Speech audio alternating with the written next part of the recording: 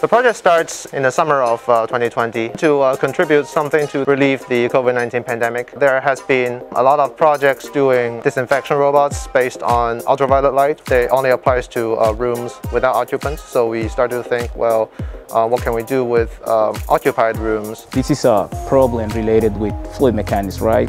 Uh, when somebody coughs, the plume of turbulent flow can transport this uh, virus. The idea originally was to integrate this in uh, a real application, uh, like the using of robots to disinfect inside classroom. So we did this interdisciplinary uh, project using the information from fluid mechanics to robotics. First step, we try to simplify the problem by focusing on um, what happens in a classroom scenario where students are sitting still and facing the same direction. And then we try to predict where particles will be recognizing humans uh, in the camera and avoiding uh, any possible collisions. But additional to that, we have this filtration uh, module.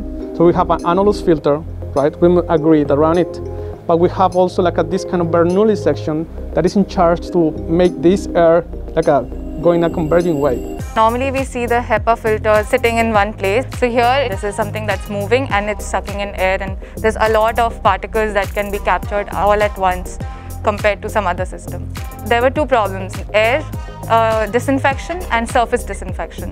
The microjets which would be at the bottom uh, so they would be doing the lower level disinfection. The part that I worked on was the electrostatic jet, which is on that robotic arm that sits on top of the robot. In a room with human activity, the layout may change, the people's behavior may change, um, they are scattered around, they may move around. And it's hard for a traditional fixed simulation to predict how the situation will, will evolve. However, if we have smart robots equipped with sensors and we can actually see, for example, where humans really are in real time, I think that will be an exciting um, progress. I'm really, really proud of this project because it was applied to real world problems. When I really see that that information really can work to save lives like in this problem of COVID-19, I really was excited about that.